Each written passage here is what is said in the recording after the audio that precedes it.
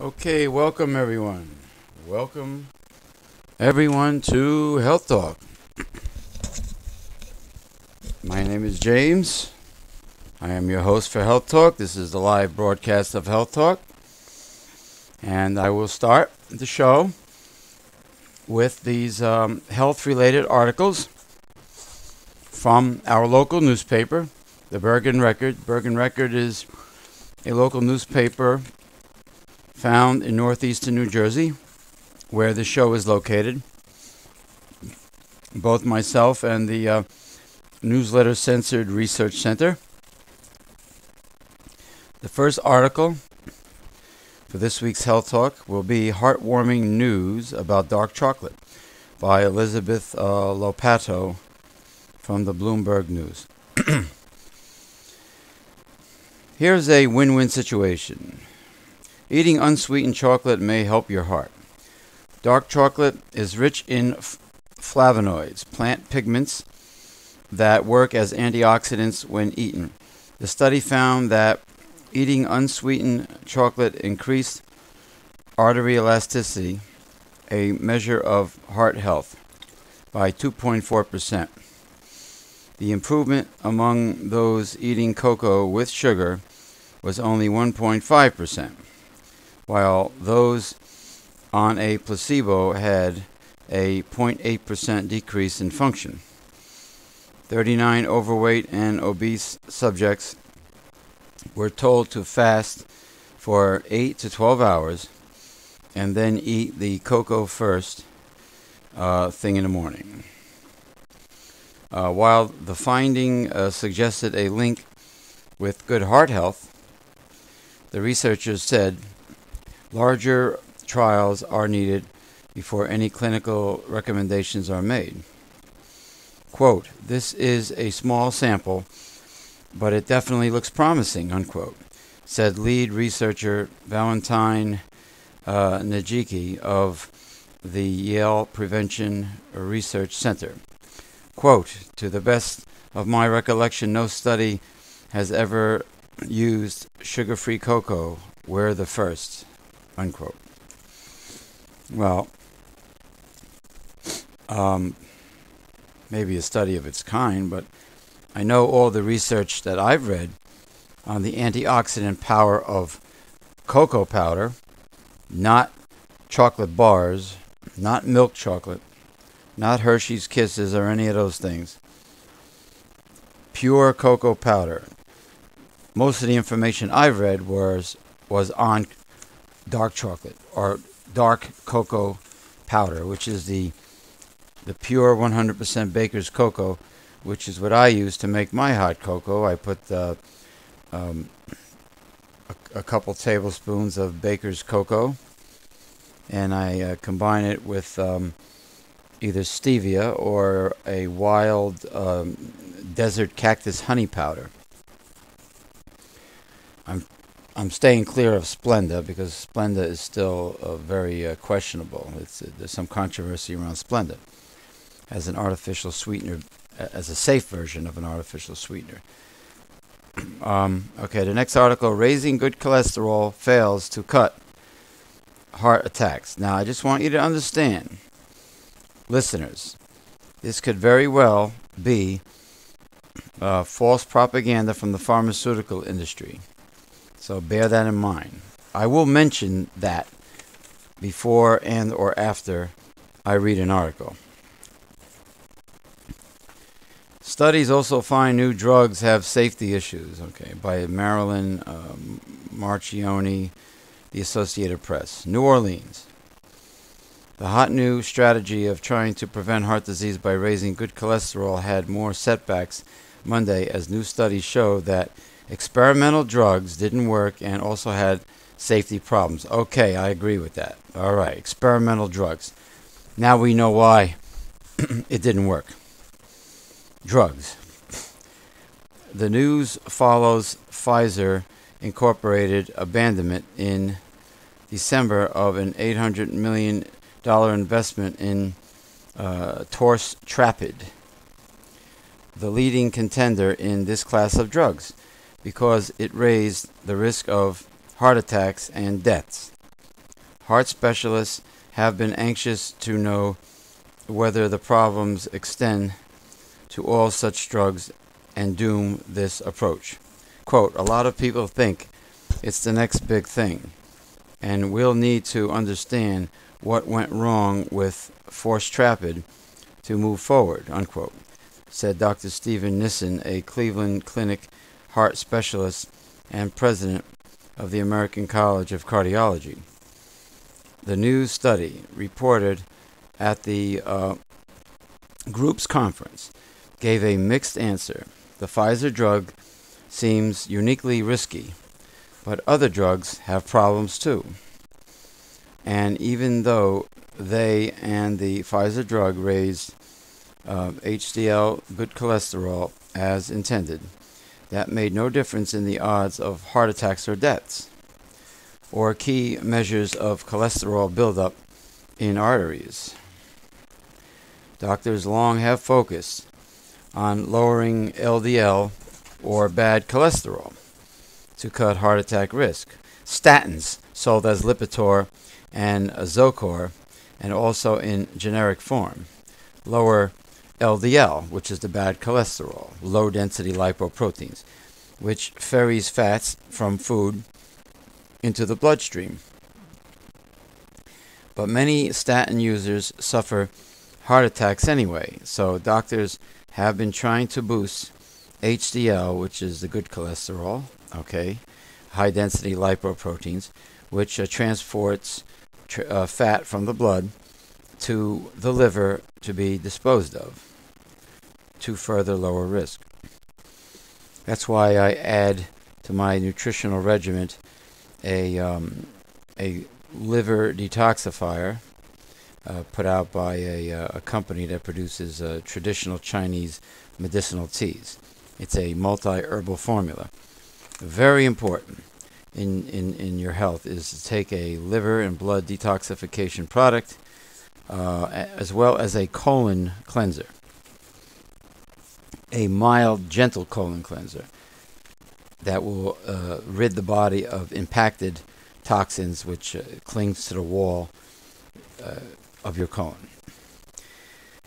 Okay, fur- further on in the article, an extended release niacin drug called uh, Niaspan, sold by KOS Pharmaceuticals, that's KOS Incorporated, does this, but it can cause a prickly hot sensation called flushing that some people find intolerable. Pfizer, Merck and Company, and Swiss drug makers uh, uh, Roche Holding AG um, are testing drugs that boost HDL in a novel way. Well, of course, they have to come out with a drug form of niacin. They can't use natural megadose niacin.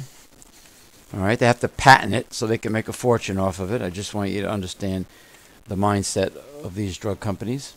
Okay, bottom line greed is their motivation, not your best interest. In several studies, there were hints of some improvements in less important measures of artery buildup, which uh, provides, quote, a glimmer of hope for future development of this class of drugs, unquote. Dr. Alan Tall of Columbia University writes in an editorial in the uh, New England Journal of Medicine that uh, journal and the Journal of uh, the American Medical Association published reports based on several of the new studies. Okay. I'll give you one, I'll give you two outstanding natural products to lower uh, the bad LDL cholesterol.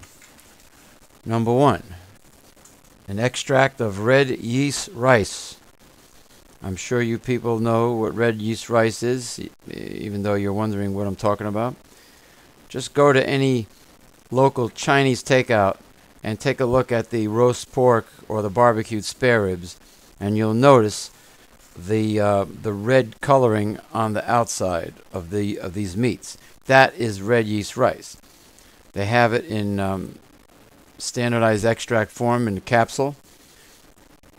Outstanding uh, for lowering LDL cholesterol, it very similar to the statin drugs, uh, actually related to it, but a natural uh, variation.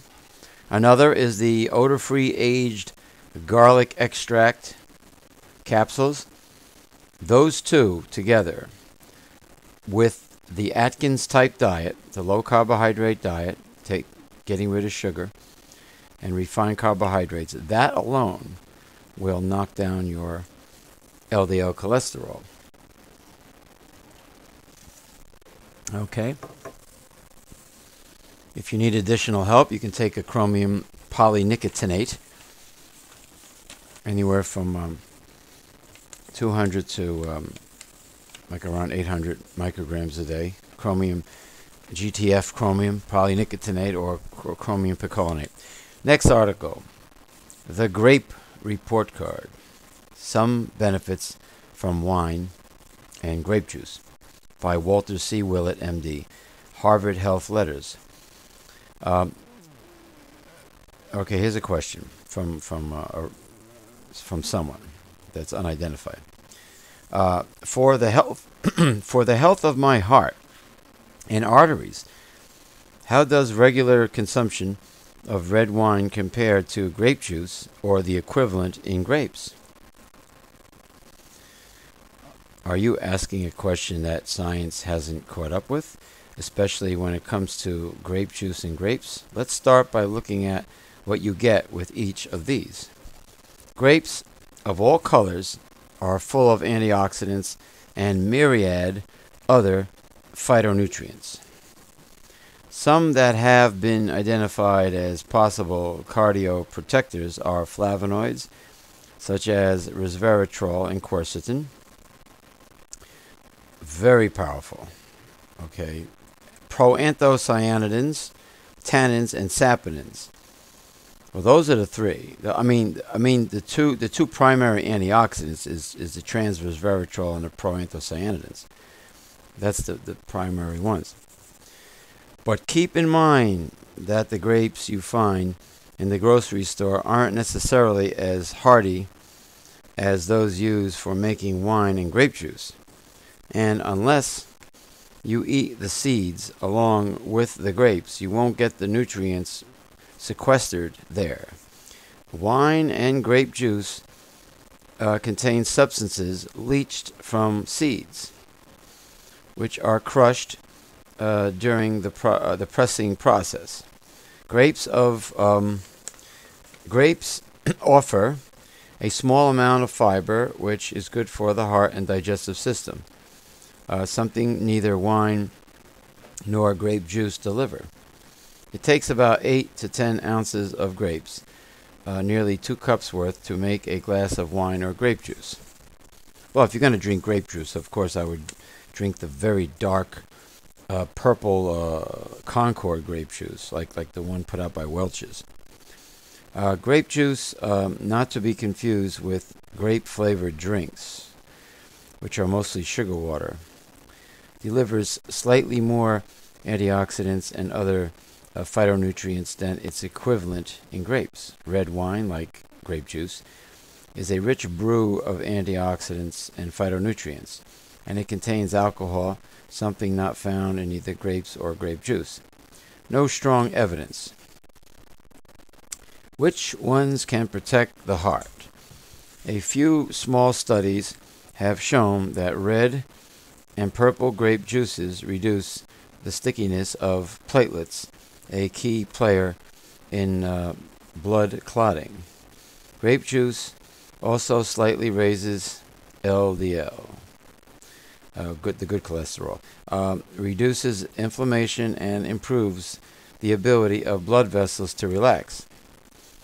Uh, the quote dose unquote in these studies was two eight ounce glasses of purple grape juice a day. So far, though, there is no evidence that drinking grape juice has an effect on the things we really care about, like fewer heart attacks or longer lives. Uh, University of Connecticut researchers have shown that uh, mice fed uh, the flesh of grapes are just as protected against experimental experimentally induced heart attack damage as mice fed grape skins. Um, whether that translates to humans remains to be seen. In fact, there is reason to believe that the amount of flavonoids in one or two glasses of grape juice is far short of what we we be needed, of what would be needed um, to have important health benefits. Also, don't forget that grapes are high in natural sugars, which are fine in small to moderate amounts, but consuming large amounts, uh, which is easy to do in the form of juice, could well increase your weight, not to mention your risk of type 2 diabetes uh, and heart disease.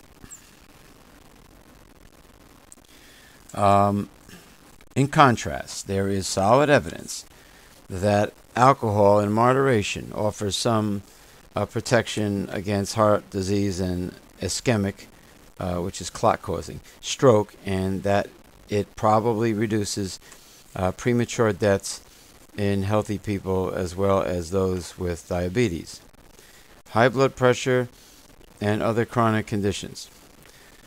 Although red wine uh, initially looked to be special in this uh, regard, uh, any alcohol containing beverage, red wine, white wine, beer, uh, cordials, and spirits such as gin or Scotch whiskey offers uh, similar protection. Alcohol may do this by raising LDL, good cholesterol, hindering the formation of artery blocking blood clots, easing inflammation on uh, by some other as yet undiscovered route. Uh, the key is moderate uh, drinking. This means no more than two drinks a day for men and one a day for women. Interesting. Well, I know the skin is where most of the transverse resveratrol and quercetin um, is contained, and pro- the proanthocyanidins are in the skin too, but they are also in, in the seed. Okay, so I'm I'm definitely a big fan of the uh, red grape. Um, and the Concord. Okay, any any brightly colored um, or deep colored um, fruit or vegetable has a um, has the pigments, has a, a high amount of flavonoids. Okay, before we go to commercial, let me read this article. Eat fish, heart patients advised. Mediterranean diet uh, found just as effective as low fat regimen by Marilyn Marchionni, the Associated Press. New Orleans. A Mediterranean style diet high in olive oil and other, quote, healthy, unquote, fats is just as good as the classic American Heart Association low fat diet for the 8 million Americans who have suffered a heart attack and want to prevent a repeat. New research suggests. Well, I don't know. uh, th- then again, they're, what they're saying is uh, the real cause of heart disease is uh, is is the fat in the diet. They're not mentioning anything about about sugar, about the uh, too much insulin being the key factor here, uh, which causes a lesion in the arterial wall, which in turn causes the plaque to stick to it. Okay, the, the oxidation of LDL cholesterol, okay, I believe is due to um, the high amounts of insulin due to a high carbohydrate diet. So, but anyway, they, they still they're still hung up on fat. Okay, people on either diet had one third the risk of suffering another heart attack a stroke, death, or other heart problem compared with heart patients eating the usual way. The study found uh, the results of the study were presented uh, Sunday at an American College of Cardiology uh, conference.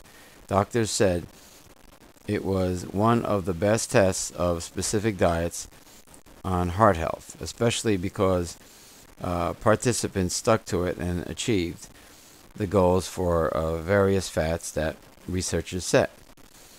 The participants also were similar in treatments and other factors, so the effect of the diets could be isolated.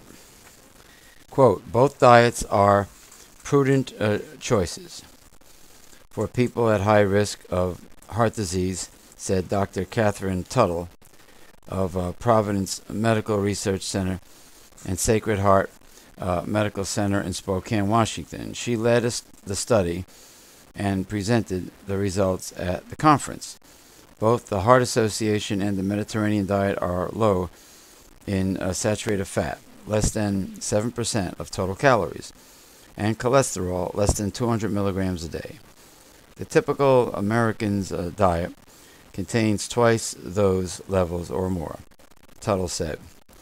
In the study, those on the American Heart Diet were told to keep total fat intake to less than 30% of calories. The Mediterranean um, dieters were allowed to go up to 40%, with the extra coming from uh, healthier monounsaturated and polyunsaturated fats and foods like olive oil, avocados, and especially fish. Uh, it aimed for 20% to 25% of calories to come from these sources, uh, and fish three to five times per week was recommended. Uh, researchers uh, thought this diet would prove best because of the heart helpful omega 3 fatty acids in the fish. They tested this hunch on um, 202 people who had suffered heart attacks in the previous six weeks. 50 were put on the low fat diet and 51 on the Mediterranean diet. Both groups received two individual diet counseling sessions in the first month and six group sessions over the next two years. The other 101 people served as a comparison group. Quote, they got the usual advice in the hospital that was it, uh, unquote, Tuttle said. All were prescribed standard heart care drugs such as aspirin, beta blockers, and statins to lower cholesterol. Deaths, um, um, second heart attacks, strokes, and heart related hospitalizations were tracked. After four years, 83% of those uh, on the low fat or Mediterranean diets had survived without such problems. Only 53% of the others did. Cholesterol levels improved in both diet groups, but not the comparison group. There was, there was no difference in risk between the low fat and Mediterranean diet groups. Both did well.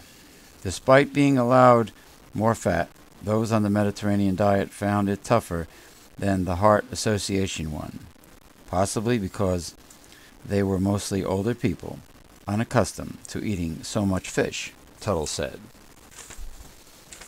Okay, well, um, the good fats are definitely the way to go. They are the way to go. Uh, the late great Dr. Robert Atkins stated, and I heard him say it, that uh, the number one deficiency in America is essential fatty acids. Okay, um, we have three. Well, hmm, we have three more articles. Um, you know what?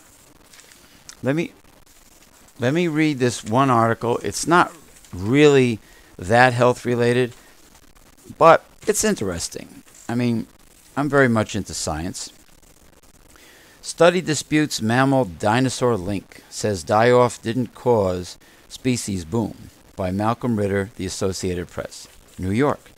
Maybe you learned this in school.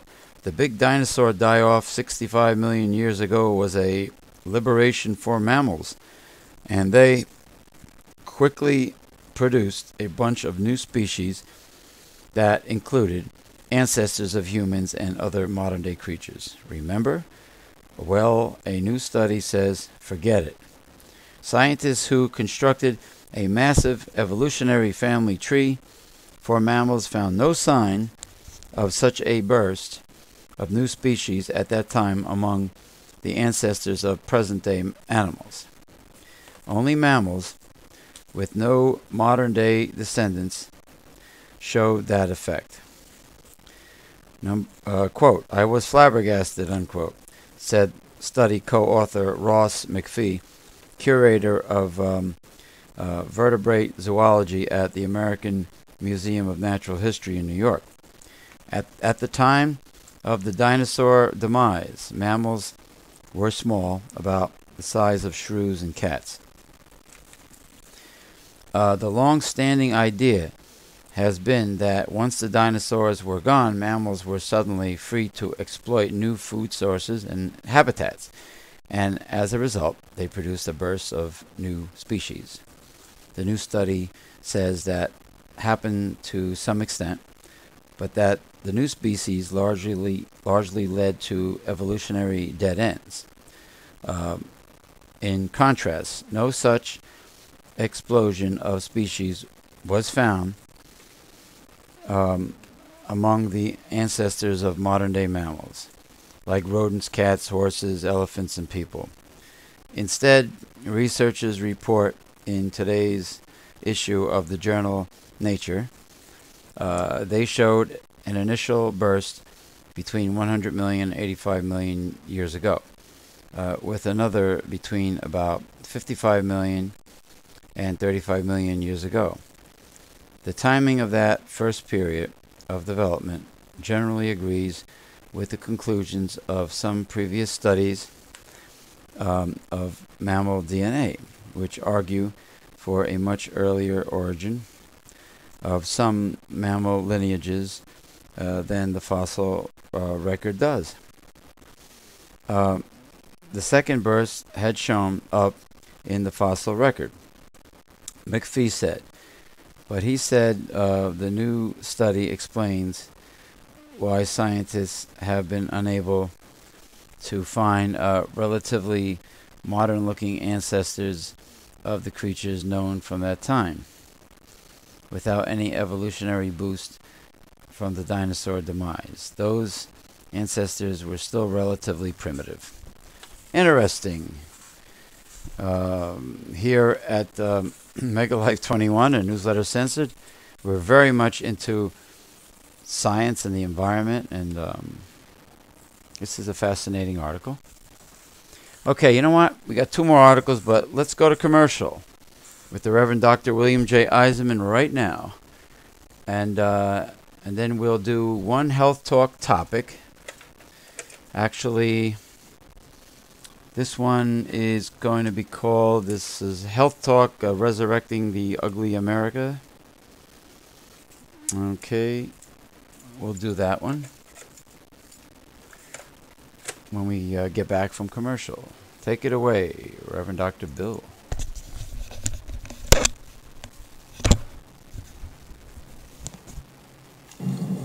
Are you reaching your fitness goals working out on your own or with a training partner?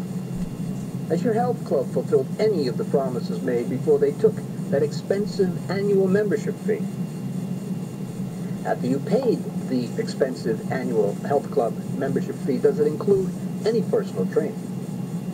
Save money and avoid the high cost of one-on-one personal trainers, nutritional consultants, health club sales packages with this complete, comprehensive fitness program with the website Personal Trainer. And are you sick and tired of all those low-flow shower heads where it seems like it takes forever to rinse off, especially you ladies with long, thick hair? If so, then power your shower. These imported shower heads cannot be found in American stores. The website Personal Trainer and Power Your Shower can be found at www.mega-life21.com. That's megalife21.com. Newsletter Censored has been taking on the five taboos of American life, sex, politics, religion, health, and child rearing for over 30 years. Newsletter Censored will give you the tools to defeat conservatives, to uh, handle right-wing counterfeit Christians. If you'd like to learn more about Newsletter Censored, then go to newslettercensored.com. Newslettercensored.com.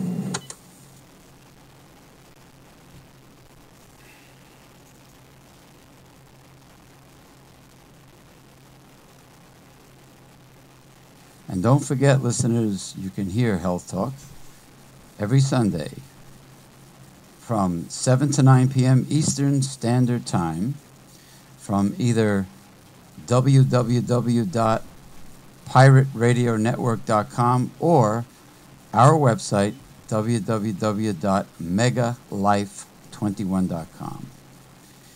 Uh, also, um, Health Talk will be replayed Saturdays from 3 to 5 p.m. Eastern Standard Time.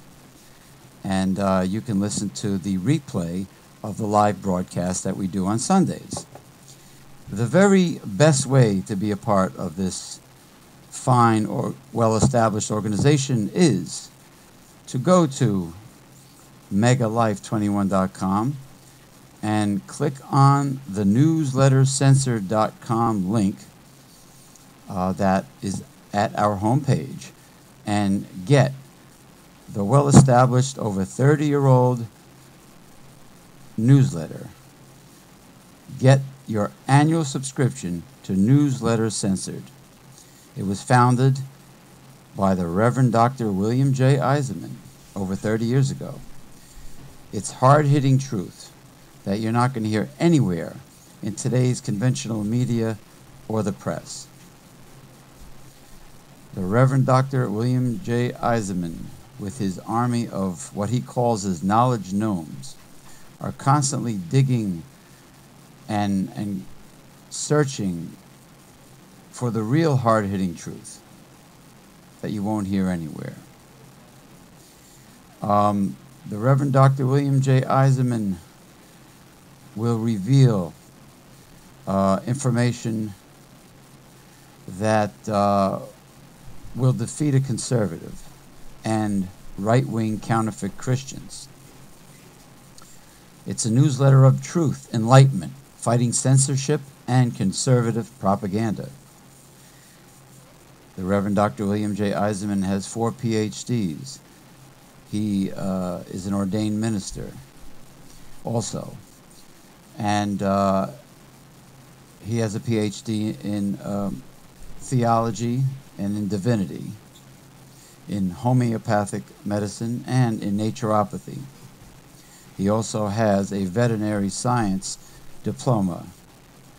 Um, so, this man, along with books that he is writing at this moment, uh, he did come out with the original book, How to Defeat a Conservative and uh, his next book will be The God Project.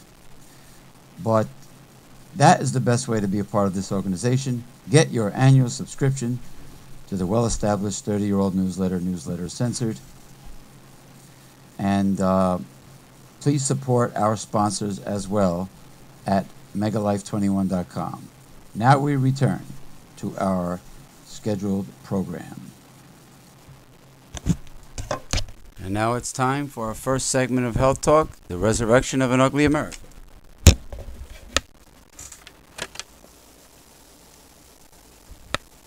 Is titled Resurrecting the Ugly American. Attempts to forge the world's first treaty to regulate trade in genetically modified products failed this morning when the United States and five other big agricultural exporters rejected a proposal that had the support of the rest of the roughly 130 nations taking part. Okay, this came uh, out of a past uh, newspaper story uh, from the New York Times dated February 24th, 1999. Okay.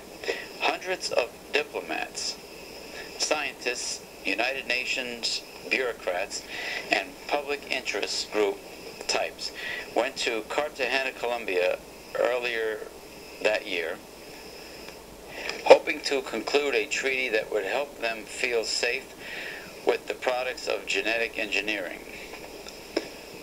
For four years, they had been arguing about environmental and human health dangers, details of risk assessment, procedures for exchanging information and regulating trade, the necessity of ensuring liability and compensation, and so forth.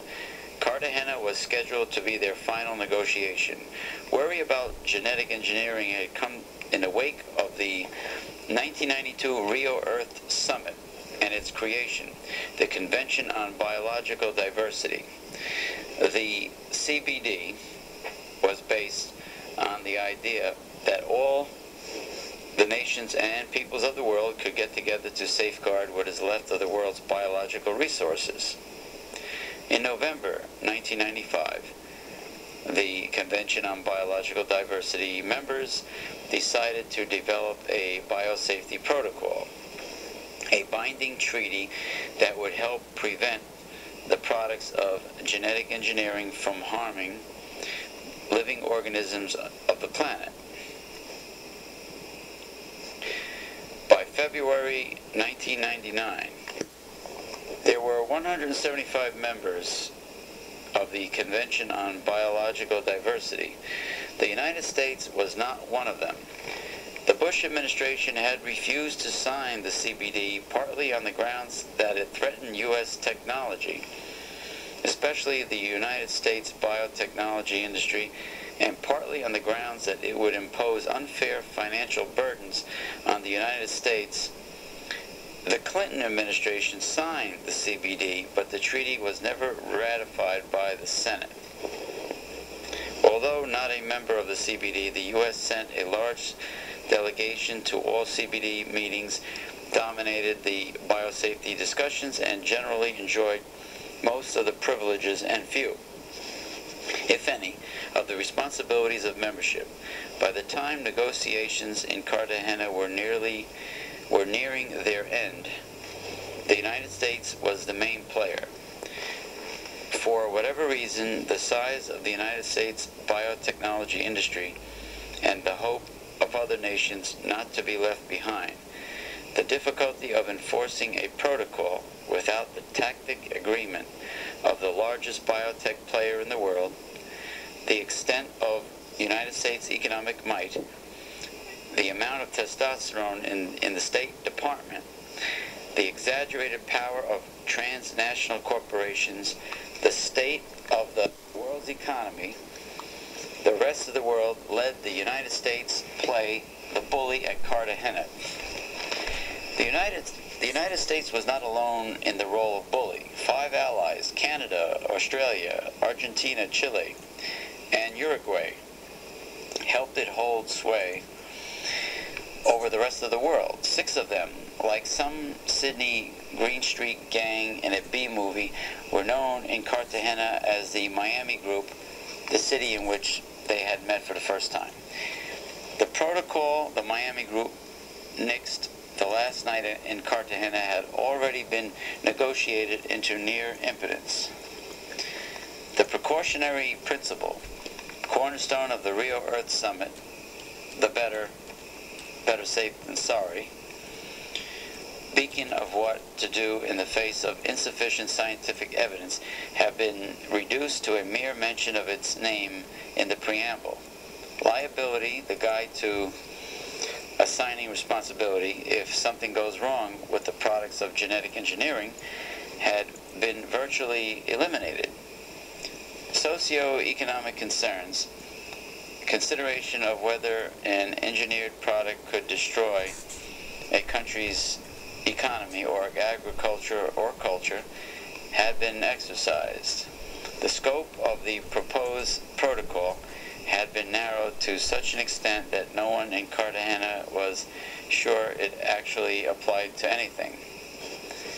The document allowed trade between countries that signed the document and those that did not thereby eliminating any incentive to sign. And the word label, quote unquote, as in the need to label genetically engineered food, was nowhere to be found. Virtually everything the biosafety high ground players had fought over the years had been lost by the end of the negotiations. Even so, the Miami group balked at allowing a biosafety protocol which might apply to their genetically engineered commodities. From the earliest days of the CBD, leadership on biosafety had come from the developing world, not from countries with large biotechnology industries to protect. While the United States asserted that the dangers of genetic engineering were being exaggerated, that industry was doing sufficient testing that too stringent a protocol would not meet the free trade tests of the World Trade Organization, the negotiator for the African group. Ethiopia's Dr. Tewolde Berhan Gebre Egziabher, doing my best to pronounce this, uh, reminded the United States that a biosafety protocol was meant to be an environmental treaty, not a trade treaty. While John Neville, representative of the Seychelles, uh, reasoned that safety not to be sacrificed to expediency, quote unquote, Ralph Pomerance, one-time policy analyst with Friends of the Earth and the World Resources Institute, now Deputy Assistant to the Secretary of State, ranted that he was, quote, not going to let anyone do anything that might harm a $68 billion a year industry in the United States, unquote. The whole tone of the Cartagena meeting suggested that someone was trying to pull strings. There was gossip that Andrew Young had been sent to Africa before the meeting to whip the biosafety troublemakers into line. There were whispers that President Clinton had made a last-minute phone call to the head of the European Union, seeking to nudge him into the Miami camp. Some of the rumored pressures may have worked. The Europeans had arrived in Cartagena saying that they would play the middle ground, quote, between the extremes, unquote, of the Miami group and the African group. Last, I mean, late, late the last night, the representative of the European Union, a group of nations whose citizens were demanding labeling, uh, moratoria, and bans, quietly agreed to scuttle the precautionary principle. Quote, it's all just a it's all just the big boys jockeying for market position, unquote, explained one diplomat. Further adding to the Byzantine humid atmosphere was the fact that so many of the early meetings of importance in Cartagena were held in rooms behind closed doors. At almost any hour you could find angry delegates in the corridors outside those doors saying how it all reminded them of quote, the old colonial game, unquote, or the old days under the Soviets, quote unquote. Whatever was going on and whoever was really in charge, the Miami group held firm, insisting on a narrowly focused treaty with minimal impact on industry, claiming the United States had made many compromises, but not dealing what they were but not detailing what they were. Uh, Ralph Pomerance later would be quoted in the New York Times saying, quote, there were two compromises we were not prepared to make. One is to tie up trade in the world's food supply. The second is to allow this regime, without a lot of deliberation, to undermine the World Trade Organization trading regime, unquote. The Miami group refused to allow the protocol to apply to their genetically engineered corn and wheat, arguing that commodities meant for eating and processing do not enter the environment, but not explaining where else is it possible for them to go. They kibosh the protocol. at about 5 in the morning, several hours after negotiations were to have concluded. Exhausted delegates agreed to suspension of negotiations. Talks were to be resumed no later than May of 2000. The New York Times reported that, quote, bleary-eyed delegates from many nations expressed fury at the United States, accused it of intransigence and of putting the interests of its world-leading farming and biotechnology industries above the environment, quote, unquote. While the headline in the Miami Sun Sentinel reported just as bluntly, quote, critics claim United States greed is at root of refusal to sign biosafety treaty, unquote. Taking it personally, uh, the person uh, who reported this story originally was there in Cartagena, pretty bleary-eyed and furious, like many non-governmental organization representatives. The person had followed, or the reporter had followed the negotiations for years. Convinced of the need for a protocol, we all we had all consulted scientists and put out white papers and published booklets and given workshops and ignored our families while we were organized consultations and rallies and whatever else we thought might bring some biosafety. And at the end of it all, none of it seemed to matter. To be there that last night in Cartagena and this is um, a detailed description of what happened there by this reporter, and to realize that the whole world might get no biosafety because one country and its allies refused to allow their genetically engineered commodities to be regulated. To know that there were environmental and human health hazards and they would not be met by precaution. To remember what the head of the United States delegation, Melinda Kimball, had said to a group of NGOs the night before. Quote, the only treaty less popular in the United States than the Convention on Biological Diversity is the Treaty on the Rights of the Child, unquote. And to recall the audible gasp that followed her remarks as the uh, meaning sunk in the future was officially unpopular in the United States. It was too much. Right after negotiations broke down in Cartagena, I ran into someone from the Food and Drug Administration, the wonderful FDA, in the corridor. He was on the U.S. delegation. How can you stand yourself? The reporter asked him. A nearby delegate from Eastern Europe overheard uh, the reporter and looked shocked. Quote, Beth gets very emotional, unquote, the FDA guy explained. Quote, if rationality me- means risking ecological and human health on the planet for the sake of profits of one industry, unquote.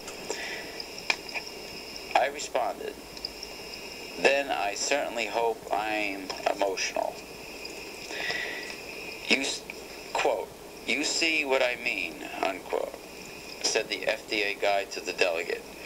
Quote, you're an evil man, unquote. I told the FDI guy. The listening delegate, who happened to know me, attempted to intervene. Quote, Beth, this is not an evil man. I know him. He's a very nice person, really, unquote. Quote, no, I explained, this is not a nice person. He may seem like a nice person. He may be very pleasant, but he carries an evil message. If I allow myself to think of him as a nice man, if I if I do not insist that he is personally responsible for the messages he utters, then one day I am certain he will come and tell me that he was only following orders. Unquote. The delegate got my message. I'm not sure about the FDA guy. A few steps down the corridor, the reporter ran into the, re- the reporter from the New York Times. Quote, Beth, what do you think about all this? Unquote. Uh, quote, what do you think I mean? The environment's always the loser, always. There was no moral high ground here. There was no scientific high ground. Uh, there was just cheap power politics, unquote. Uh, I was still upset, meaning the reporter, when uh, I got on the plane for Bogota, Colombia, about two hours later. The plane was full of tired-looking delegates. I found my seat. Uh, it was on the aisle. When the window seat occupant showed up, it turned out to be Melinda Kimball, head of the U.S. delegation. I started to laugh. By then, I'd already shouted at her a lot. Everyone on the plane had probably heard me shout at her at least once. I had nothing more to say. I moved my legs aside so she could climb into her seat. I took out a book and turned back to her as far as I could without undoing the seatbelt. I didn't speak to her the whole trip. The politics of shunning. When I got back home, I allowed myself one last useless gesture. I wrote the president in part. I told him, quote, there was a lot of bitterness and anger at the end of the negotiations in Cartagena, and while not all such feeling should be attributed to the bullying style of diplomacy favored by our delegation, all the anger and bitterness, I believe, will come to be directed at the people and government of the United States. Okay, this is all um, detailed description by this reporter. Quote, because the United States has demonstrated an ability to push its way into the heart of negotiations among parties to a treaty our country has not yet ratified, it will be assumed, and perhaps correctly so, that we are behind every uh, untoward event utterance or outcome associated with this treaty. Every use of rules to subvert or prevent the utterance of opposing views, and there was a great deal of such so-called rule manipulation in Cartagena, will be designated an act of the United States. Every personal slight or embarrassment experienced by any of the delegates and there were many such slights in Cartagena, will be experienced as an, as an affront committed by the United States. Every utterance about the needs of our 68 billion a year industry will be understood as an attack on the environment and citizens of other countries. Continuous argument about protection of our industries will make us hated we will be seen as the fat, despised, and privileged members of a, of a society seeking only to make more money and become more privileged. Quote, one of the third world delegates in Cartagena, a gentle scientist who found himself among many other outside closed doors, waiting to hear news from the few real negotiators within, said to me, and this is a reporter, he was speaking to. I honestly thought I was doing something here. I honest, honestly thought our discussions in the contact room, in the contact groups were meaningful. I honestly thought I was making a contribution worthy of what it cost my government to send me here. But this, where all of us wait while they try to force a protocol by using rules most of us hardly know. This is just brutal power, just like the old colonial days. Quote, another delegate asked me on the last day, do they wish to push us into the arms of Saddam? Uh, well, this is embarrassing, uh, Reverend Dr. Bill. Uh, you know, because the United States is supposed to set a positive example to the rest of the world because we are the uh, so-called uh, wealthiest and most powerful nation. And we are uh, supposedly God's country and uh, you know it's always God bless America. It's never God bless anybody else. Uh, and we're supposed to set positive examples.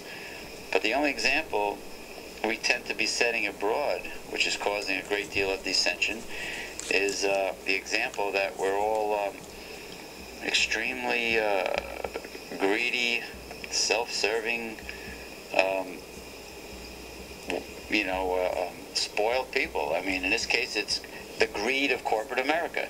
Uh, I'm sure you have some comments that you would like to make about uh, this week's um, Health Talk.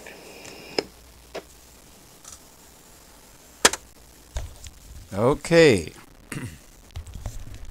that came from the archives, uh, the best of Health Talk, when I used to do the show with the uh, Reverend Dr. William J. Eisenman. Did it for four years with uh, the Reverend Dr. William J. Eisenman and William H. Morrow III.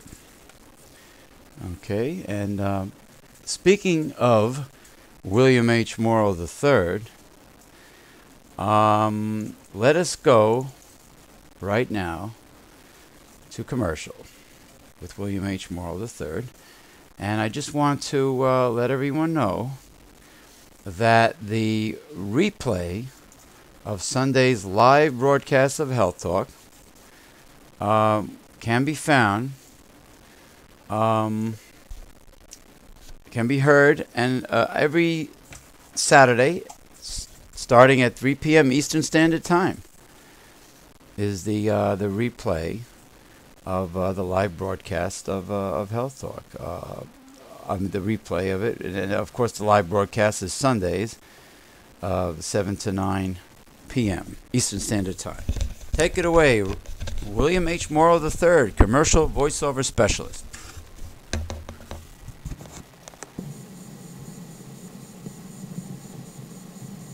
Hi, this is William Morrow.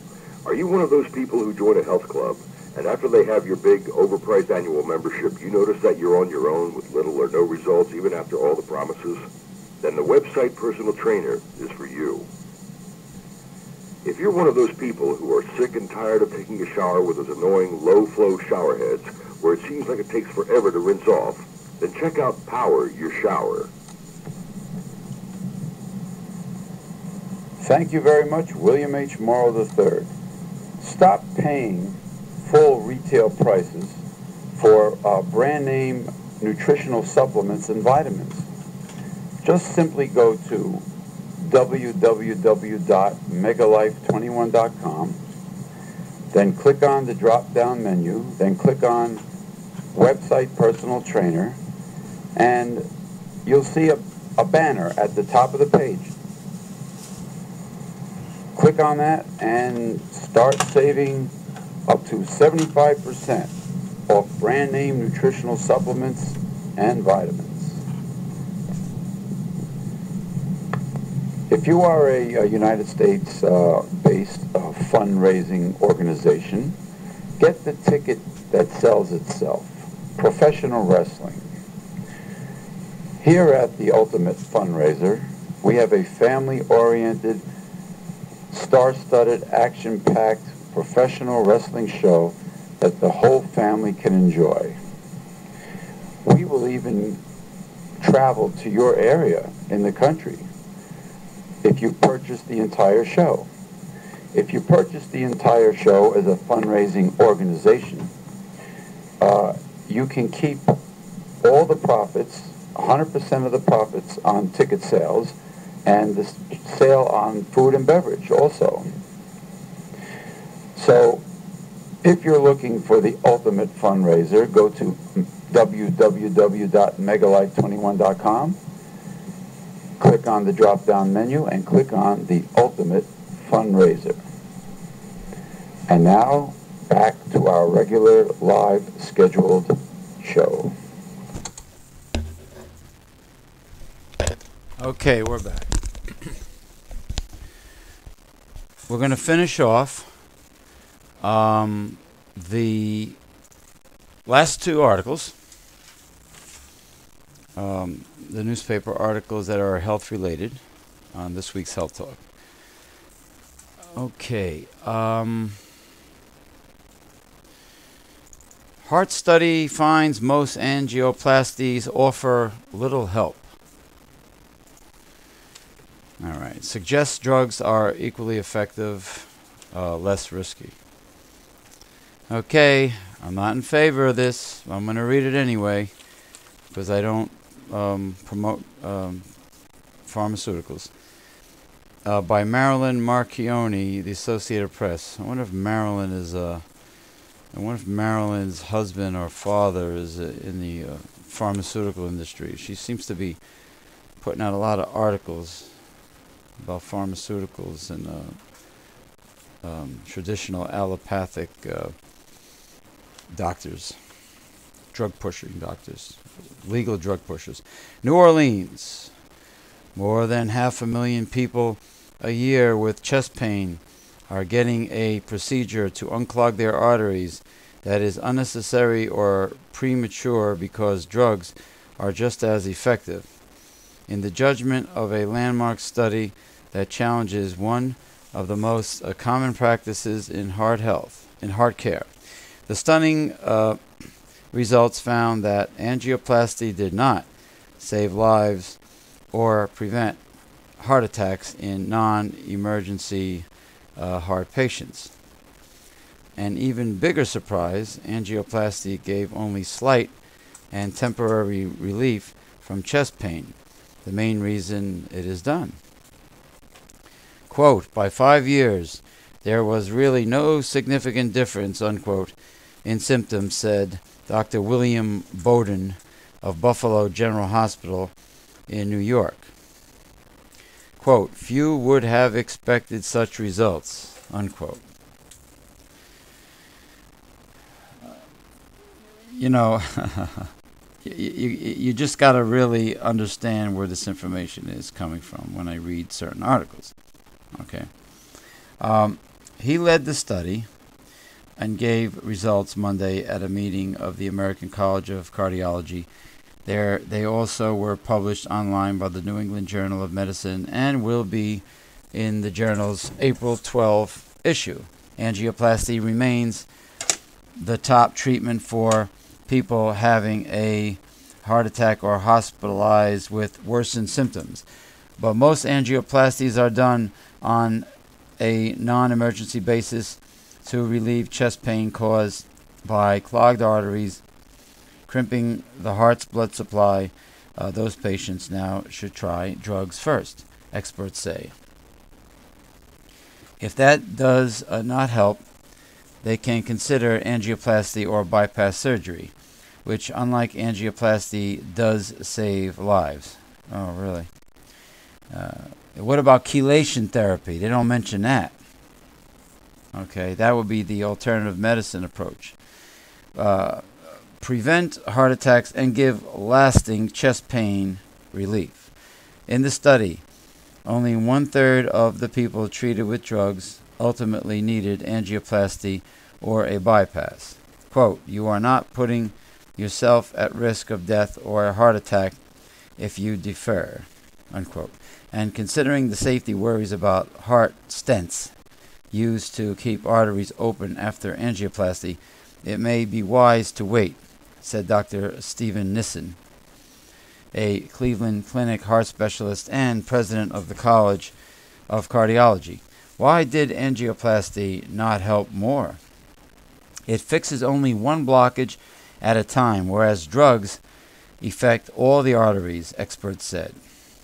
Also, the clogs treated with angioplasty are not the really dangerous kind.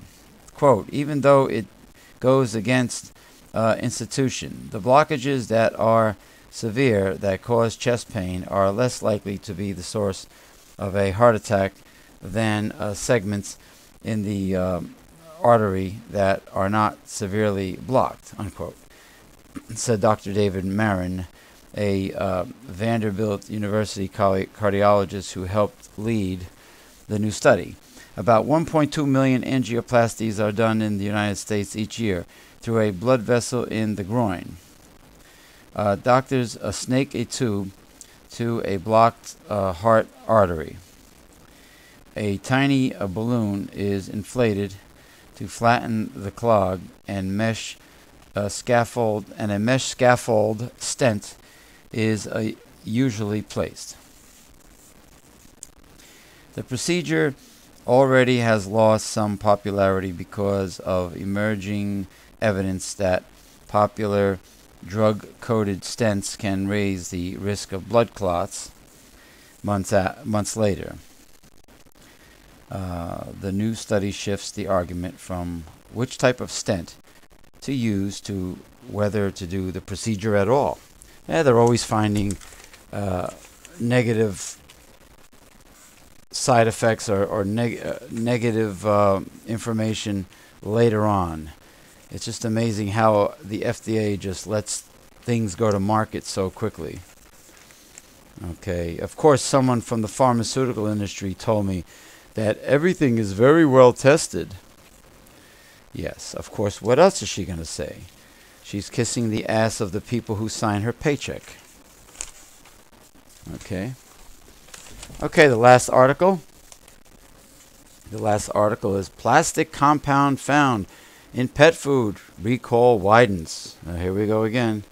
I'm sure a lot of you people know about the uh, latest misfortune of uh, people's beloved pets becoming very sick with like kidney failure or and or dying from toxic substances found in pet food. Mostly moist pet food in a can, but now uh, it's it's uh, infiltrating into possibly dry. Uh, I will read on.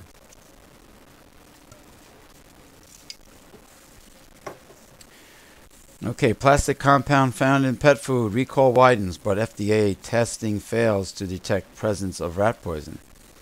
By Andrew Bridges, The Associated Press, Washington. Federal testing of recalled pet foods turned up a chemical used to make uh, plastics, but failed to confirm the presence of a cancer drug also used as rat poison. I wonder if that's Coumadin. No, no, no, it's Coumadin used is, is a heart is a cardiology drug, which is rat poison. Okay, cardiology drug. So that wouldn't be. It might not be Coumadin. The recall expanded Friday to include the first dry pet food. See? The Food and Drug Administration said Friday it found melamine in samples of the menu foods pet food involved in the original recall and in imported wheat gluten used as an ingredient in the company's wet style products. Cornell University scientists also found melamine uh, in the urine of sick cats as well as in the kidney of one cat that died after eating some of the recalled food. Meanwhile, Hill's Pet Nutrition recalled its prescription diet MD Feline Dry Cat Food. The food included wheat gluten from the same supplier that Menu Foods use. The recall didn't involve any other prescription diet or science diet products, said the company, a division of Colgate Palmolive Company. The FDA was working to rule out the possibility that the contaminated wheat gluten could have made it into any food, into any human food. However, melamine is toxic only in high doses, experts said, leaving its role in the pet deaths unclear. Menu Foods recalled 60 million containers of cat and dog food sold throughout North America under nearly uh, 100 brands uh, earlier this month after animals died of kidney failure after eating the Canadian company's products. It is not clear how many uh, pets may have been poisoned by the uh, apparently contaminated food, although anecdotal reports suggest um, hundreds, if not thousands, have died. The FDA alone has received more than 8,000 complaints uh, the company more than 300,000. Company officials on Friday would not provide updated numbers of pets sickened by or killed by its contaminated product. Uh, pet owners would be compensated for uh, veterinary bills, and the deaths of any dogs and cats linked to his company's products. The company said, "Oh, isn't that nice?" They're, they're gonna they're gonna monetarily compensate people for their beloved pets. That, that's gonna really make up for the loss of the cat or dog. The uh, melamine finding came a week after scientists at the uh, New York State Food Laboratory identified a cancer drug in rat poison called uh, amino um, aminopterin.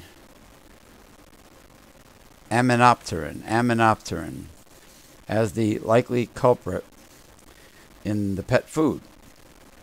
But the FDA said it could not confirm that finding, nor have researchers at the University of Medicine and Dentistry of New Jersey when they looked at tissue samples taken from dead cats, and experts at the University of uh, Guelph detected aminopterin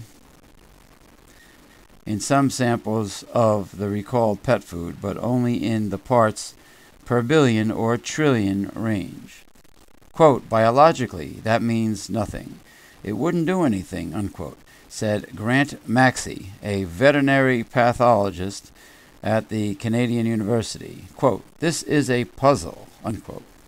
Meanwhile, New York officials stuck to their aminopterin um, finding and pointed out that it was unlikely that melamine could have poisoned any of the animals thought to have died after eating the contaminated pet food. Melamine is used to make plastic kitchenware and is used as a fertilizer in Asia. Yeah, the um, the imported wheat gluten is from China. So a lot of things coming from overseas, particularly China, and uh, that is uh, sold to the U.S. They always seem to find some hazardous chemical in it. I, I heard uh, stories that the um, uh, the D um, all the um, the, the the was it the DDT that was outlawed in the United States um, decades ago. Uh, of course, the companies that made the DDT couldn't dispose of it just like that. They had to sell it. They had to make money off it. They couldn't take a loss. So they sold it internationally. And uh, from what I hear, the produce grown in Chile, uh, countries like uh, Chile, and maybe there are others, okay, are still using uh, the deadly DDT as um, a um, as an insecticide. Okay. so, in the wintertime, uh, a lot of the produce does come from south of the border and overseas, and uh, as a result, may have DDT on it. So, that's a wonderful thought. I think bananas were included in that. Okay. Um, okay, that, that concludes the last of the health related articles. That's it for the health related articles for this week on the live broadcast of Health Talk. Let us go to commercial with the Reverend Dr. William J. Eisenman. And then we'll go to our next Health Talk topic, which is control release alpha lipoic acid. Take it away, Reverend Dr. William J. Eisenman.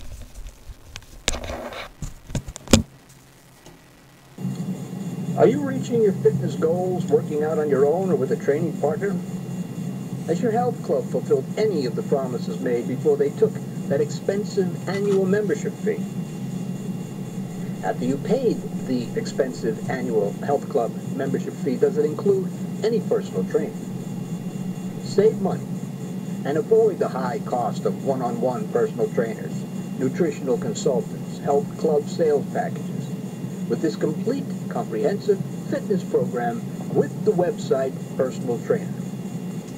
And are you sick and tired of all those low-flow shower heads where it seems like it takes forever to rinse off? Especially you ladies with long, thick hair. If so, then power your shower. These imported shower heads cannot be found in American stores. The website Personal Trainer and Power Your Shower can be found at www.mega, M-E-G-A, life, L-I-F-E, 21.com. That's megalife21.com. Newsletter Censored has been taking on the five taboos of American life, sex, politics, religion, health, and child rearing for over 30 years. Newsletter Censored will give you the tools to defeat the conservatives, to uh, handle right-wing counterfeit Christians. If you'd like to learn more about Newsletter Censored, then go to newslettercensored.com. Newslettercensored.com. Okay, the Reverend Dr. William J. Eisenman is absolutely right. NewsletterCensor.com and that annual subscription to the well established over 30 year old newsletter is the best way to be a part of this organization. Get it now. Okay, the next segment of Health Talk is about control release alpha lipoic acid.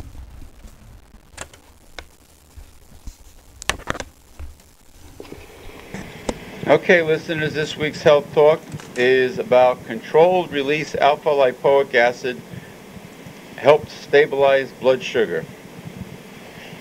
The introduction of a controlled release form of alpha lipoic acid is good news for the millions who suffer with type 2 diabetes. The benefits of alpha lipoic acid for the treatment of diabetic complications have long been known and studies have shown it's helpful in reducing blood glucose levels. However, before the development of a controlled release tablet, the most effective form was intravenous administration. How alpha lipoic acid comes to the rescue. The fact that levels of alpha lipoic acid are low in diabetics may have first led to the idea to administer it intravenously as a treatment for diabetic neuropathy. This method has been used for more than 30 years in Europe where it has been shown to reduce the symptoms of neur neuropathy. Pain, burning, tingling, and loss of sensation, and to help prevent progression of the condition. But understanding how and why alpha lipoic acid works is perhaps a more recent revelation. Type 2 adult onset diabetes is the most common form of diabetes, striking 90 to 95 percent of the 13.2 million people diagnosed with the disease. It usually begins with insulin resistance, a disorder in which the cells do not use insulin effectively. When insulin is not used properly or not enough is produced, glucose accumulates in the bloodstream. Over time, elevated glucose, blood sugar, levels can cause serious complications, including nerve damage to the lower extremities, neuropathy, damage to the eyes that can cause blindness, retinopathy, kidney failure, hypertension, and heart disease. In diabetes, we believe that the cells cannot cope with the high glucose levels, says uh, Ira Goldfine, MD, professor of medicine and physiology at the University of California, San Francisco School of Medicine. There's an overproduction of free radicals and reactive oxygen radicals that damage the DNA in cells. In diabetics, this damage occurs in the kidneys, the eyes, the nerves, and the vascular system. There's a huge need for antioxidants to control this oxidative stress. In fact, recent studies have shown that oxidative stress plays a major role in the development of insulin resistance. One such study which was conducted by Goldfine and colleagues, showed that oxidative stress could produce insulin resistance in muscle cells. Interestingly, cells treated with alpha lipoic acid were fully protected from the effects of oxidative stress. So, how does alpha lipoic acid work? Experts believe that it's the powerful antioxidant actions of alpha lipoic acid that account for its effectiveness. A fatty acid found in trace amounts in all living things. Alpha lipoic acid is a potent free radical scavenger. It also has the unique ability to regenerate other antioxidants, namely vitamins C and E, and can repair oxidized proteins. The benefits of controlled release.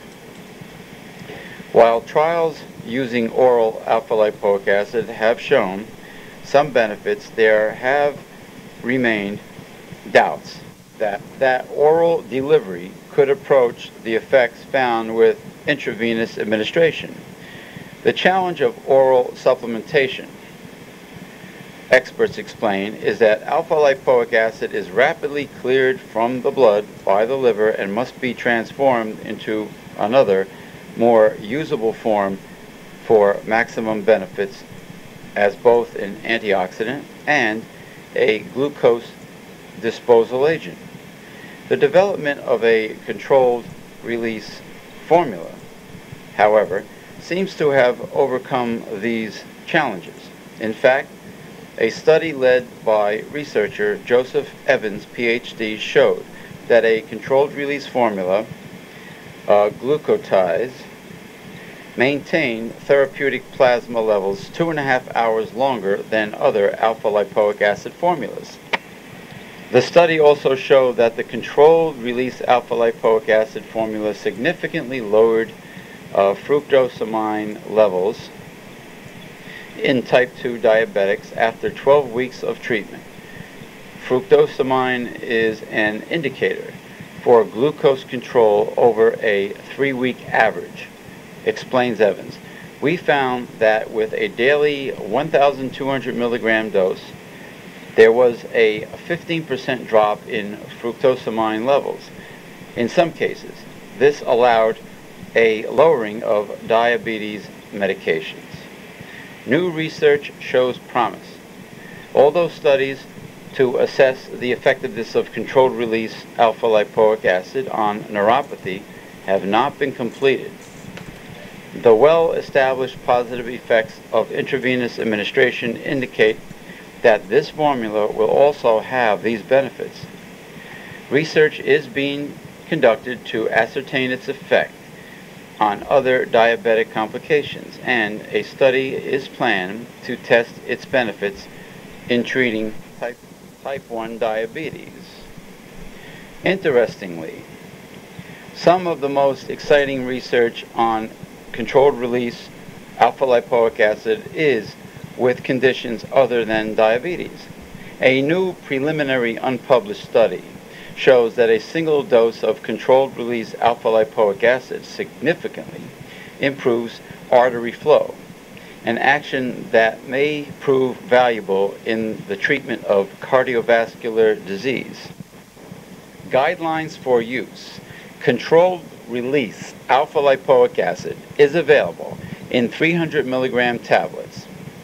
While trial dosages have ranged up to 1,800 milligrams per day, for most people, 300 milligrams daily is an appropriate dosage.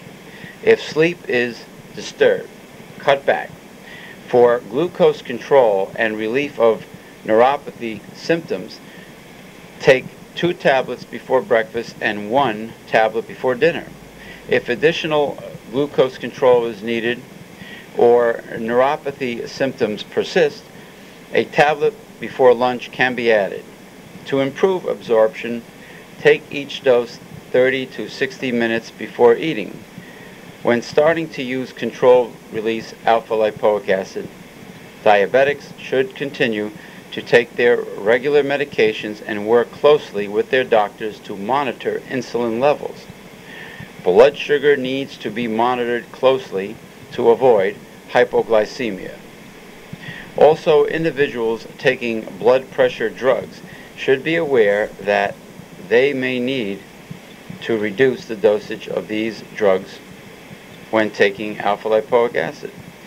This product should not be used by those who have a sensitivity to alpha lipoic acid or sulfur containing compounds, by pregnant or lactating women or those who are thiamine deficient.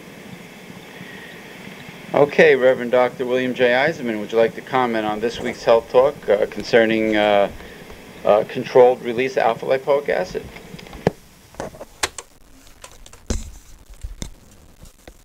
Okay. Our next um, health talk topic, okay, will be, uh, let's see. Well, since we did a prog- um, a segment here about um, the poor unfortunate dogs and cats who have died from the poisoned pet food, let us do this one here from the archives of the best of health talk called Cold Care for Puppies and Kittens.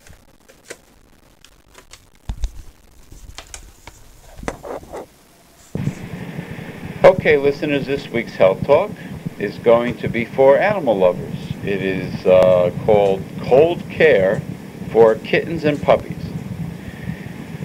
Um, scenario here. Uh, okay, I have a new puppy that always seems to have a cold. He just doesn't seem to be healthy. Is there anything natural I can try? I suggest giving supplemental bovine colostrum a try. Colostrum, packed with protein, growth factors, enzymes, hormones, and micronutrients, has a great potential for healing. I use it for kittens and puppies that are not thriving, as well as for sick older animals, or simply as a health booster. All my geriatric patients go on colostrum. Animals often improve within days. I use a powdered supplement from New Zealand available at health food stores and pharmacies. The dosage is 1 8 to 1 2 teaspoon four times a day, depending on the size of the animal. Dilute in water and feed directly with a syringe or a baby bottle. Or if the animal is eating solids, sprinkle the powder on the food.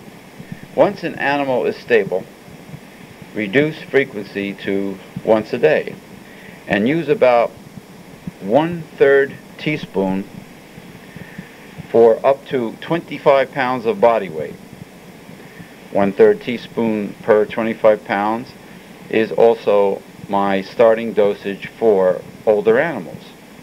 Colostrum bolsters the digestive tract and the immune system, which are intrinsically connected.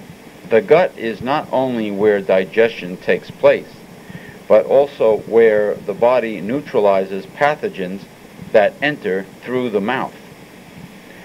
Colostrum balances the gut's beneficial bacteria, fortifies the critical immune agents operating there, and enhances nutrient absorption. I have great results in dogs and cats with chronic or acute diarrhea and immune deficiencies. Not to mention the uh, miraculous results with humans with colostrum. For, for persistent problems, consult a veterinarian. Okay, uh, tip of the month. When you feed your pet, think of quality and not just the quantity of protein, fat, carbohydrate, and added vitamins listed on the pet food label. Freshness, wholesomeness, energy, and digestibility of food also counts. In these categories, holistic veterinarians give low grades to most commercial foods.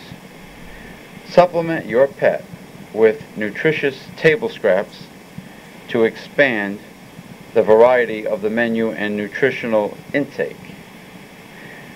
Uh, personally, myself, I am very partial to a company called Innova when it comes to feeding uh, dogs and cats, kittens and puppies. Just compare the ingredients with all of the other brands, and now nothing comes close to Innova for quality. Okay, the next uh, listeners, uh, the final segment of this week's uh, Health Talk is called Eat Your Veggies, Fight Breast Cancer.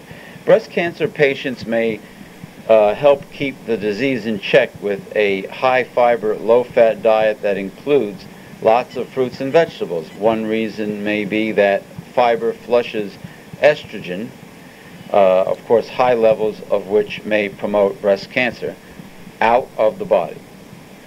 A year long study of breast cancer patients showed that women who follow a cancer prevention diet, including high fruit and vegetable intake and reduced fat consumption, in addition to uh, participating in related cooking classes and phone counseling, had significantly lower estrogen levels than a comparison group.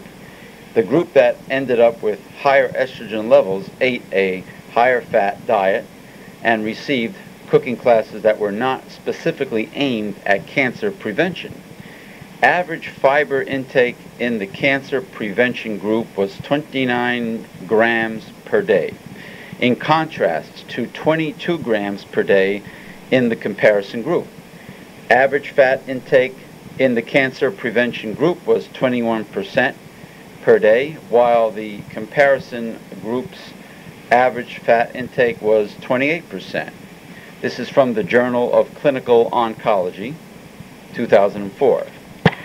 Okay, listeners, um, the next segment, which uh, I would like to continue from the previous one to finalize this week's health talk, is called Brain Food. Creativity, enriching experiences, plus the right nutrients can produce new brain cells. There's a popular misconception that we use only 10% of our brains. Another myth is that after we reach adulthood, we don't make any more brain cells. It turns out that we use far more of our brains than researchers once thought, and we routinely grow new brain cells. Nutrition and life experiences influence the number of neurons and synapses, which is connections, in our brains. Described simply, to make new brain cells, an existing cell must first duplicate its deoxyribonucleic acid, DNA. The new DNA will contain the biological instructions that govern cell function. But to make new DNA, a brain cell must have adequate amounts of several B vitamins, including folic acid and vitamins B3, B6, and B12. Other nutrients are also needed for DNA to do its job, including vitamin C, zinc, selenium, and amino acids. Without them, you can't make either new DNA or new cells.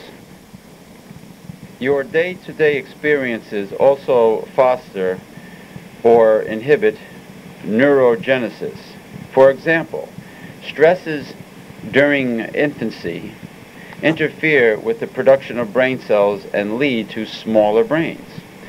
Conversely, experiences that provide psychological security stimulate growth of brain cells. This dynamic activity of the brain continues throughout life, and brain cells and synapses are formed and reshaped every day. Negative emotions, work pressures, and bad relationships reduce neurogenesis and increase the risk of depression and anxiety. Meanwhile, enriching experiences have a more positive effect. Ernest Rossi, PhD, an eminent uh, psychologist and author of the Psychobiology of Gene Expression, uh, published by W. W. Norton and Company, 2002, describe how we can promote healthy brain development as adults. He wrote that novelties such as uh, travel to new places, uh, being creative or enjoying other people's creativity, and exercise can promote neurogenesis and healing. All that should make perfect sense. After all, it's more proof of our mind-body connection. Okay, uh, I want to talk about uh, the herb Rhodiola rosea, which is uh, also commonly known as Arctic root. Rhodiola rosea is a, a, relative newcomer in herbal medicine in the United States, but its therapeutic powers are well known in many other parts of the world. Uh, in the Rhodiola Revolution uh, by Rodale Books 2004 by Richard P. Brown, MD, and Patricia L. Gerbarg, MD, you'll find compelling research spanning 30 years, plus case studies documenting the herb's benefits for health concerns, including stress, fatigue, anxiety, obsessive compulsive disorder, post-traumatic stress disorder, depression, memory, and sexual function. Tips on finding a quality product, plus storage, usage, and dosage guidelines are included. Average dosage for rhodiola is 200 to 400 milligrams per day. Kids low on vitamin D. Kids are filling up on soft drinks instead of milk and spending less time in the sun. Uh, well, I blame computers and video games for that. And, you know, it's up to the parents uh, to monitor their children to make sure they're consuming the right foods and beverages. And a lot of parents evidently are not paying close attention to their kids. Okay. Thanks to uh, thanks to the Dr. Spock mentality and approach to parenting. It's, it's a complete failure, okay? The whole concept of, uh, of not disciplining your child the old-fashioned way. And it's taking its toll. A study of 11 to 18 year olds in Boston found that about one-fourth were deficient in vitamin D and 5% were severely deficient. This may be an indication of a national problem. Adequate vitamin D synthesized from sunlight and available in fortified cereals and milk is crucial for calcium absorption and bone development. Kids who said they drank milk and ate cereal were less likely to be low on vitamin D, according to study results that analyzed blood samples from 307 kids.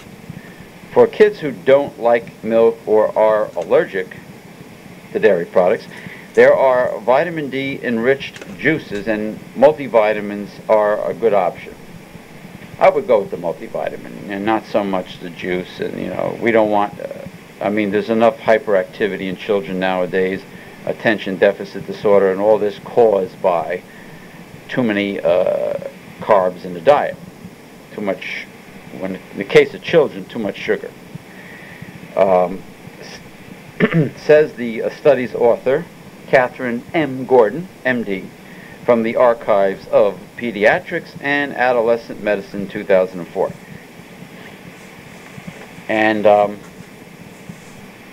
to finalize this week's health talk, this is called, this is a cute article called Use Your Marbles.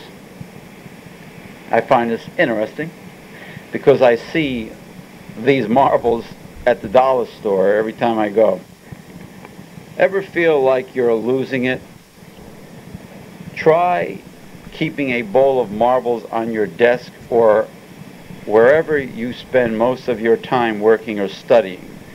While they can serve as a lovely aesthetic addition to your office or home decor, their more important function is to act as your personal reflexology masseuse.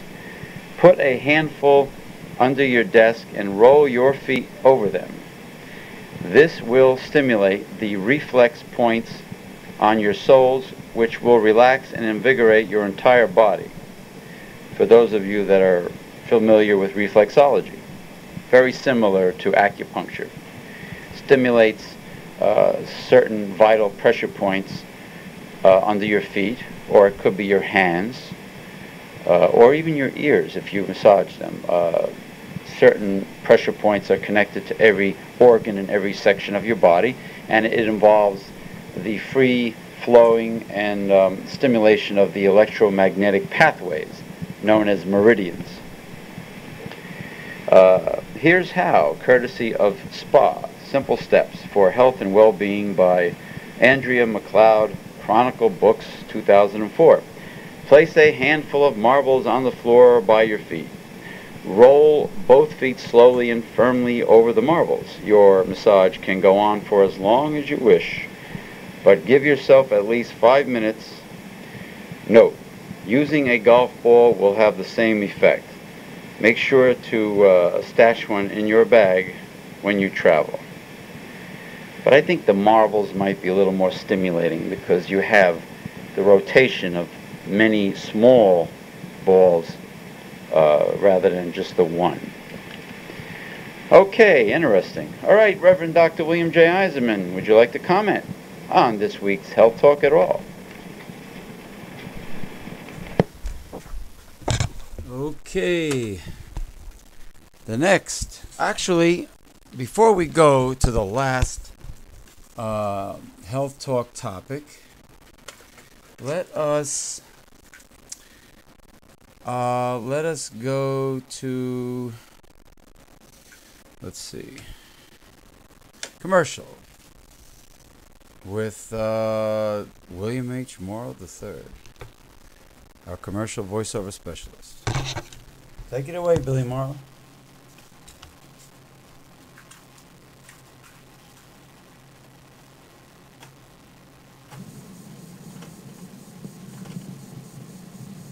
Hi, this is William Morrow.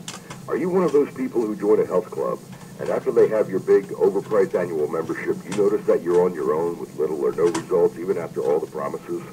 Then the website Personal Trainer is for you.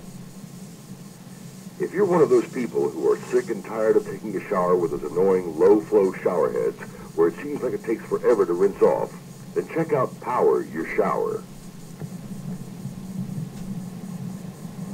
Thank you very much, William H. Morrow III. Stop paying full retail prices for uh, brand name nutritional supplements and vitamins. Just simply go to www.megalife21.com, then click on the drop down menu, then click on website personal trainer, and you'll see a, a banner at the top of the page click on that and start saving up to 75% off brand name nutritional supplements and vitamins. If you are a, a United States uh, based uh, fundraising organization, get the ticket that sells itself, professional wrestling. Here at the Ultimate Fundraiser, we have a family-oriented star-studded, action-packed professional wrestling show that the whole family can enjoy.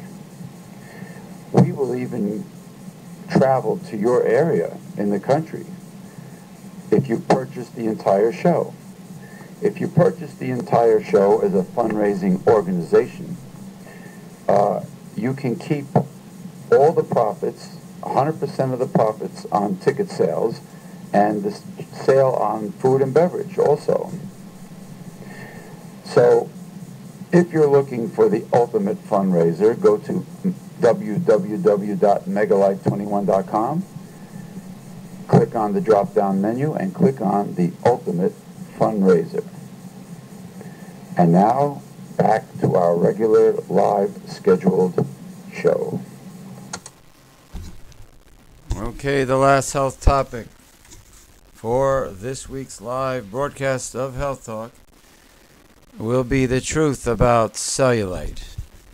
I know spring is in the air and people are thinking about Memorial Day weekend, which is the uh, unofficial first day of summer, and the beach for those that live on the coasts.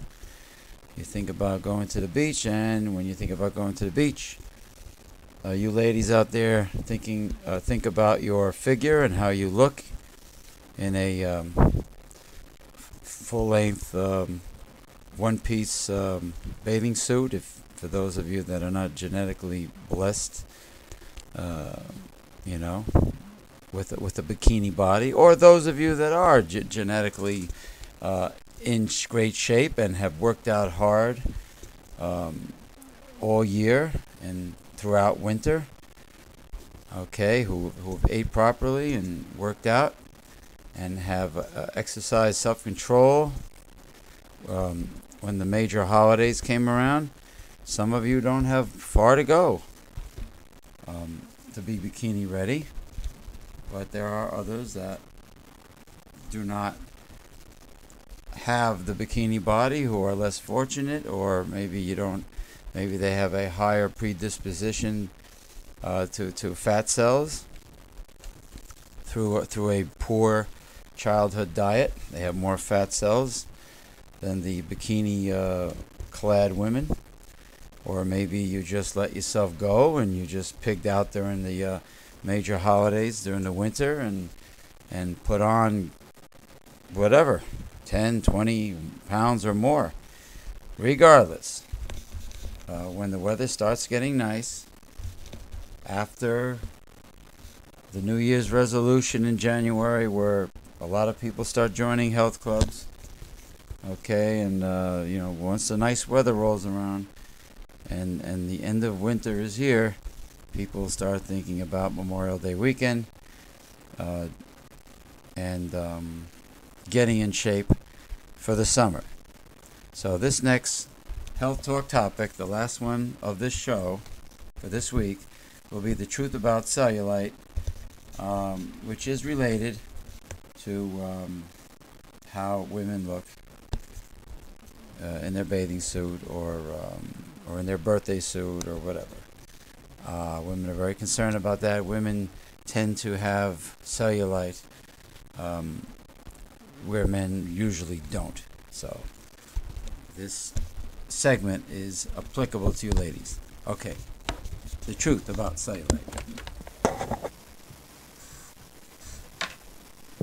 Okay, listeners, this uh, week's Health Talk is going to be uh, fat or fiction, the truth about cellulite. You may never be able to completely eliminate it, but you can fight it every step of the way. Here's what works and what doesn't. In 1973, a salon owner, Nicole uh, Ronsard, published one of the first books on cellulite, titled Cellulite, Those Lumps, Bumps, and Bulges You Couldn't Lose Before, uh, by the Beauty and Health Publishing Corporation. Since then, doctors, researchers, and uh, aestheticians have had conflicting opinions about what cellulite really is. According to many doctors, it's fat with a twist. It's just the way women were put together, says uh, Mitchell Goldman, MD, Associate Clinical Professor of uh, Dermatology at the University of California, San Diego, and Medical Director at La Jolla Spa, MD. Quote, men store fat in beer bellies, women store it in cellulite, unquote. So why the lumps and bumps? Between the skin and the muscle is a space that's filled with fat cells. Fibrous bands in the fascia surrounding the muscles do not give to allow the fat to spread under the skin, but instead force the fat to the surface. First, the bad news. No matter how thin you are, you can still have bumps. Quote, you'll lose cellulite only if you lose all your body fat, unquote. says Goldman. But there's some hope. cellulite can be treated with lifestyle changes and a few natural products. Diet do's and don'ts. Allergies and food sensitivities may contribute to cellulite. Quote, fluid retention can form in response to any toxin or food sensitivity, says Kat James, author of The Truth About Beauty, Beyond Words Publishing, 2003. Quote, the body will accumulate water in order to dilute and sequester toxins into pockets to keep them from the vital organs and bloodstream, unquote. If you have food sensitivities or allergies, try eliminating the offending substances from your diet for at least two weeks. Hi, this is William Morrow. Are you one of those people who join a health club, and after they have your big, overpriced annual membership, you notice that you're on your own little or no results even after all the promises? Then the website Personal Trainer is for you. Thank you very much, William H. Morrow III. So you lost another argument with a conservative, right-wing Republican. He talked over you. He screamed and yelled. He brought out the Bible. He thumped it. He quoted scripture to you. You were lost because you came at him with facts. Nothing but facts. And you expected that that would, uh, that would make you look good. That would make you win the argument, but it didn't. You know why you lost the argument? You know why you're going to lose your next argument? Because you don't read Censored. Censored, a 30-year-old newsletter that shows you how to defeat a conservative. Read Censored, and you'll have all the ammunition you need. Every time you get into an argument with a right-wing conservative, uh, so-called Christian. Censored. That's all you need. Read it and defeat a conservative. Greetings, listeners. Let me speak to you for a moment about the foundation of our entire organization, Newsletter Censored. It was founded by our mentor, the Reverend Dr. William J. Eisenman, in 1977. It discusses the five taboos of American life politics, religion, health, human sexuality, and child rearing. You won't find anything like this in the mainstream media and the press. It reveals the kind of truth that most people are afraid to hear. Can you handle it? We are living in the end times, so in order to defeat a conservative and save America, you need Newsletter Censored. Go to www.newslettercensored.com, click on the printable order form page, and with your gift to support this work, get your free annual subscription. This is James P. Madonna of Megalife 21, the hardest hitting internet talk radio station on the planet.